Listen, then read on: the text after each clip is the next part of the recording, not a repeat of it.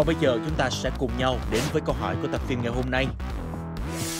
Trong tập 12, Thư Nhã và Dược Thần đã vào phòng của Dược Phong để tìm thứ gì?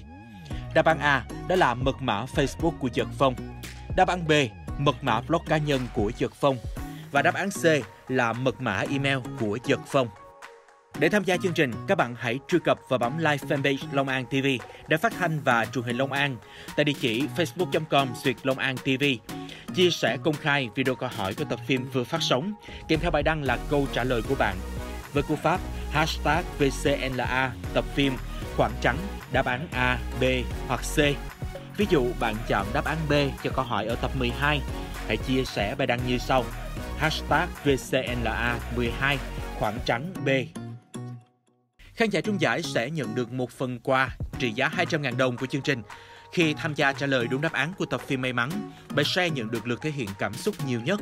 Live fanpage Long An TV đã phát thanh và truyền hình Long An chia sẻ công khai video câu hỏi của tập phim vừa phát sóng.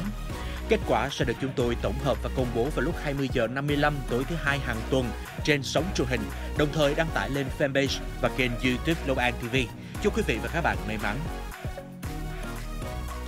Quý khán giả có thể quét các mã QR đang hiển thị trên màn hình để đến với các kênh thông tin chính thức của truyền hình Long An.